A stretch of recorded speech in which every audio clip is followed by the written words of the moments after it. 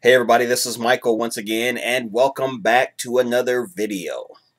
Well guys, I like to call this series Animation Fandation, and no, don't ask me where I got that name from. Just something a little different. Trying to be different. Here on YouTube, there are so many copycats and lookalikes. It's nice to be different sometime. But anyway, uh, the film that we're going to talk about today, or the animated series that we're going to talk about today, is actually one that I came across a couple of days ago at Walmart while I was just spying out the new video releases. And I came across this and I'm like, wow, this is an animated series? Who knew? But anyway, guys, apparently Marvel Comics or Marvel Industries or Marvel Entertainment has collaborated with the Japanese anime company Madhouse and they produced uh, several Marvel characters into the world of anime. Now, so far, I think they've done uh, Wolverine, uh, they've done Iron Man, and as a matter of fact, guys, I can uh, tell you exactly what they've done just so that I'll get it right here. You know, nobody hates, uh, or everybody hates misinformation. Uh, they've done Iron Man, Wolverine, X-Men, and finally, the one that I'm going to discuss today, they have done Blade. Look at this, guys. Here it is, Blade. Marvel Animated Series, and this is Blade, a two-disc set. Get a close-up look of it, guys, because you won't see it again. no, I'm kidding. Here's the back of it, guys. Or, and girls, you know, girls do like stuff like this. They call them nerdettes. but anyway, there's the back of it, guys. And uh, to my surprise, when I saw this, I was just like, you know, I really didn't even go to Walmart to buy anything. But when I saw this, I'm like, I've got to have that. I'm like a really huge Blade fan, guys. I, I love uh, the Blade films, Wesley Snipes. Uh, have a few of the comic books. Uh, and this animated film here was just uh, icing on the cake. And as you can see, guys, from the design of the character, uh, Blade is probably uh, more in tone with the television series where that Blade, played by Sticky Fingaz, has a bald head. Um, now, like I said, guys, this is an animated series uh, animated by Madhouse, this tremendously huge animated company or animation company in Japan who's been around, I think, since 1972, have done just a ton of animated shows and they struck a deal with Marvel and collaborated on some of the characters to bring these characters into the world of anime. And as a matter of fact, guys, when these were produced, these uh, uh, four separate titles were actually aired on Japanese television before they were aired here. So they were actually licensed to show in Japan. But of course, we have them here. I think some of them were shown on, uh, I think it's the what is it, G4 network. But I don't think they've reached the Cartoon Network. They may have, but I don't think so.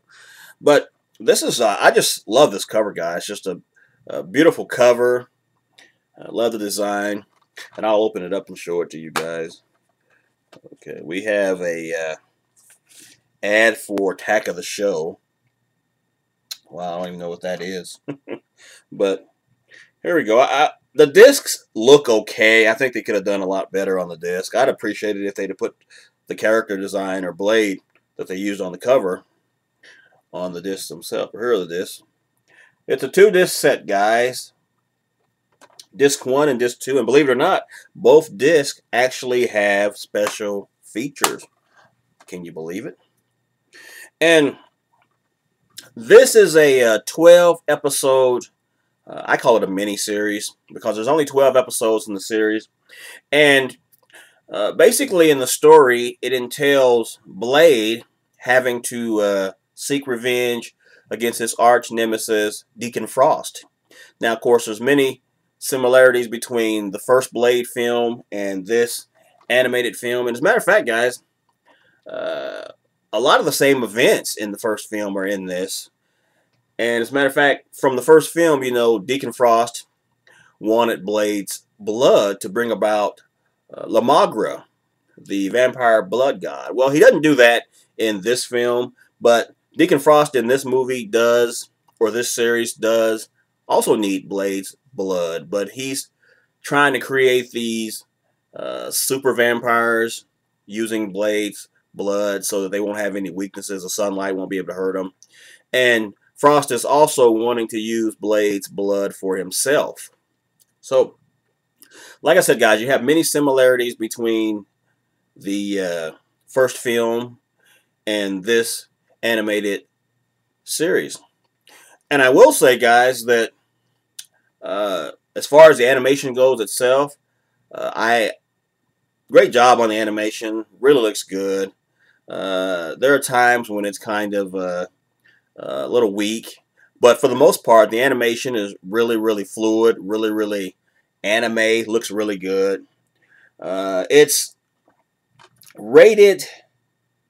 Uh, actually, doesn't have a rated. Not rated. But if I was going to rate this, I would rate it PG-13. Uh, there's a little bit of blood in this, guys. Uh, you know how in the feature films, when Blade kills a vampire, they just turn to ash? Well, they do this in the animated cartoon as well. So you don't see a lot of blood or anything like that, just a little bit of blood.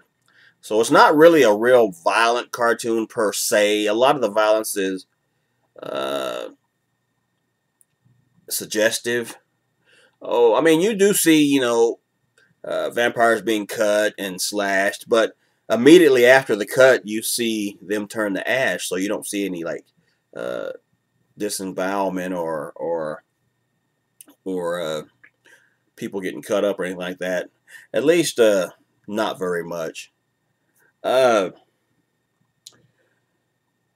basically, in this 12-part miniseries, or I think back in the day, if you had a comic book series that was 12 issues, they called it a maxi series. But in this show, you have Blade basically seeking revenge on Deacon Frost, who killed his mom.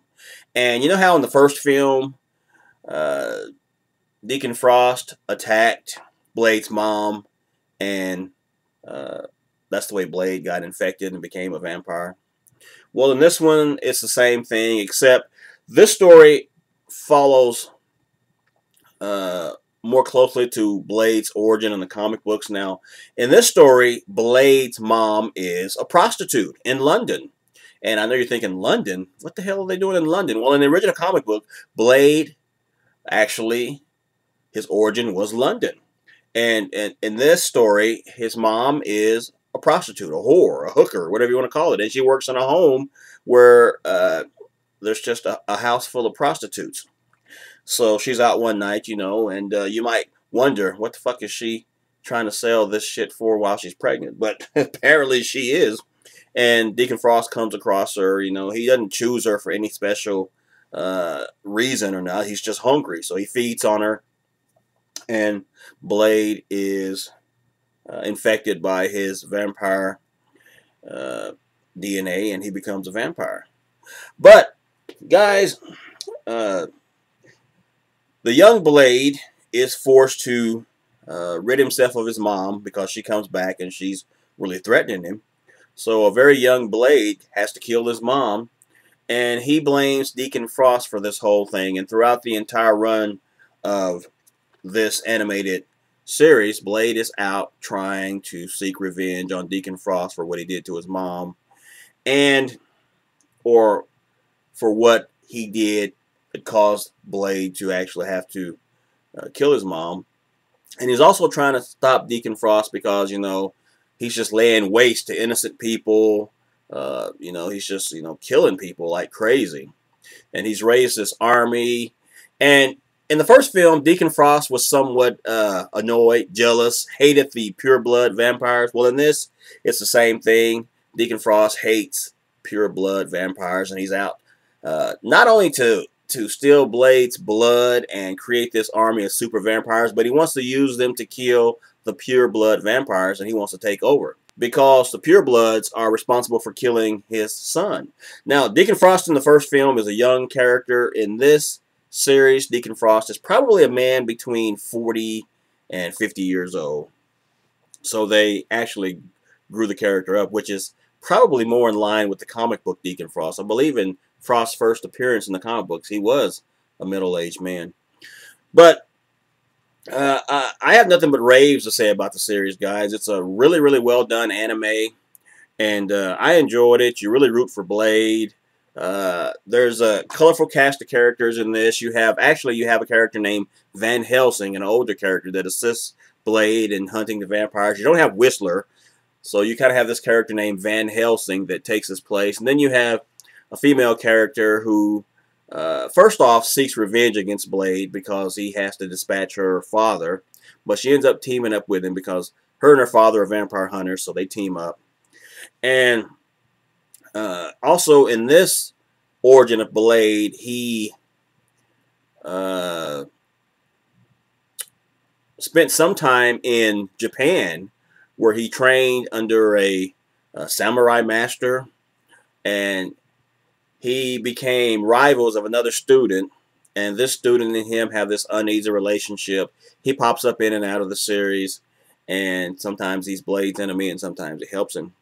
But probably the biggest surprise about this series is that uh, I think it's episode three. You get an appearance by Wolverine. I shit you not. And when I was reading this and I saw Wolverine, I thought, what the hell? I don't want to see Wolverine in this. I don't want to see any character that comes in and and uh, upstarts Blade. I mean, we've seen that in Blade Trinity, but uh, it's a well, really nice balance between the two. And and there's Wolverine there, guys. If you could see him, that's not too fuzzy. Wolverine and Blade there, but um, uh, they they meshed pretty well together. Wolverine's been redesigned. He's a lot younger than what he appears in the, the real world in the comics. But he meshes well with Blade, and I thought it was a pretty nice story. Nothing real deep or anything like that. The series, as a matter of fact, isn't real deep or anything like that, but uh, a decent episode nonetheless. So I wasn't really disappointed with it. Now, like I said, guys, you get 12 episodes on this, and uh, as far as special features go, you get special features on both discs. Uh, the first disc being Blade Reawakened, where you have the American producers, uh, the people responsible for, uh, I think you have one of the writers of this series who's an American, and then you have uh, some storytelling people, because the show was actually, like I said, uh, put together in Japan, and then when they brought it here, the American companies came in, translated it, and dubbed all the voices and all that. But you have the American storytellers you're talking about, Blade, the series, and all that, and the uh, how this series is just so different, how it's so unique. This is a Blade you've never seen before, and and if you've watched any kind of uh, anime or read any kind of manga, guys, you know that uh, pretty much in in every anime series, there's nothing really uh, new. I mean, you have a somber hero in Blade, you have a a villain who's just all powerful and he has to face him the I mean it's just not a whole lot of anything new in too much anime today. But uh, just you know, watching these people and listening to them talk about this show and just how excited they are. Oh, we're going to be blown away. This is just totally different. I mean, Blade is going to be taken to a new level and all this kind of stuff. I mean, it's just like, ma. I mean, I've seen it before. Uh, I, even though I enjoyed it, you know, just listening to these guys, it's like, do you guys ever watch anime? okay, but you know, they're really gung ho about it. And uh, what, what's kind of interesting about it, they talk about the comic books, the origin of Blade, but none of the Americans talk about Wesley Snipes' take on the role. They don't talk about any of the live action films, which uh, I, thought was kind of strange, given the influence uh, of Snipes as Blade, given the influence, uh, the notoriety that he's brought to the character. I thought it was a disservice and kind of disrespectful to not mention Wesley Snipes, but they didn't. And I was a little bit disappointed with that because obviously this character, even though he may be bald headed, uh, this character bears a lot of resemblance to the live action Blade. Uh, you can, I mean, he has the sword, he has a. Uh, it's, it's, placed right behind his back like it is in the live action films. He has a long black trench coat. Uh, just it, this is Blade, more or less. This is Snipes. It may not look like him in some scenes, or it may not look like him at all, but this is Wesley Snipes. So, you know, they're they're smelling their own shit there. You know, they should have mentioned Wesley Snipes because, you know, Wesley Snipes is Blade as far as I'm concerned. Then we have the Vampire Hunter origins and adaptations. And I need to uh, try to remember exactly what other special features we have on this, guys. because we have two special features on the first disc, which I believe are Blade Reawakened and the Vampire Hunter Origins and Adaptations. And, you know, even when we have the Origins and Adaptations, which are American uh, sponsored uh, special features, they still don't mention Wesley Snipes as Blade. And and more. This too we have uh, we're taken to uh, the animation studios where we get to see, hear, read some of the uh, thoughts of the animators, the directors of the cartoon, and what they think of Blade. And what I really found interesting about their special feature, and it's it runs about probably about close to 35 minutes. But what I found interesting about their take on the Blade mythos is that you know they didn't make the cartoon modeled completely after Wesley Snipes, but they do at least acknowledge Snipes in the role as Blade. I mean, several times throughout their documentary, they talk about the first film, they talk about Blade. And one of the uh, storytellers even goes so far as to say, uh, when you think of Blade, you think of Wesley Snipes. He is Blade. I mean, and uh, that whole attitude where in, a, in a, the American producers, the Marvel people, are, uh, it's like someone said, do not mention Wesley Snipes. But over in Japan, uh, almost all of the people involved in the documentary, we got about probably about four, five, six, seven, uh, seven to ten people, and most of them mentioned the influence of the first Blade film.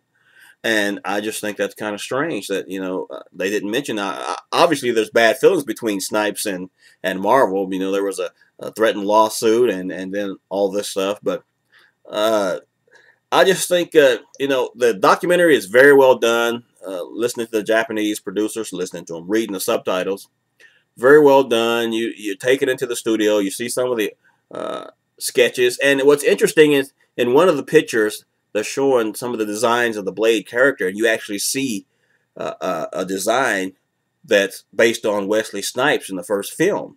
Now, I don't know if you know Marvel stepped in and said, "Hey, no, you can't do Snipes. It can't resemble Snipes at all. We'll have to pay him." So they made him bald, and uh, I thought it was interesting that that they actually uh, considered using Snipes as the Blade character, and I think it would have been fine if they had. I would have liked it more. Uh, but they didn't end up using them. They used this character here. And uh, overall, I mean, when you watch it, you do get the feeling that it, it is Blade. And they even go so far as to mention the television series Blade and the fact that he was bald in the that series. But I got to tell you guys, I enjoyed this. It's, it's, uh, only 12 episodes. I've already done watching it. I, I certainly wish that there was more episodes. It's a two-disc set. The series is completely, uh, it's complete on this set. So, you know, if you buy it, you're not going to have to uh, worry about getting another set because it's only 12 episodes. Now, this ran me about $14.95, guys. I think that's about the going price on Amazon right now. But it's definitely worth the money, especially if you're a Blade fan. Now, even in eh, even the Japanese uh, artists and storytellers are talking about how this is a Blade you've never seen before, how this is just uh, oh, just stupendous, and and, and I, I mean, you know, I'm thinking, you know, it's anime. I've seen a lot of anime, and I've seen a lot more impressive anime, but uh, this is just a series that, uh, you know, in today's world, you know, you see exotic creatures, you see all this kind of stuff in anime, and it's just nothing really. Uh, stand outish about the designs and the creatures and all this to make this just, you know, wow you. It's not going to wow you, but it's just nice to see Blade again. So anyway, guys, definitely have to recommend the Marvel animated series Blade to this set. And like I said, there's a Wolverine and Iron Man and what was the other one? Wolverine, Iron Man, and X-Men. So I'm definitely going to pick those up too, guys. Not because they're anime, just because I like the characters, but I like to have the, the, the complete sets of all these. But definitely got to recommend Blade, guys. So, so glad I read into this. And I really enjoyed watching it. Just a, a really enjoyable series. But a decent story. A lot of back backstory on Blade as a kid. A lot of development on the character. Uh, it may surprise you because actually it delves into parts of the character that we never saw in the three feature films that we have. But anyway, guys, thanks for watching. Take care, and I'll see you at the next video. Blade.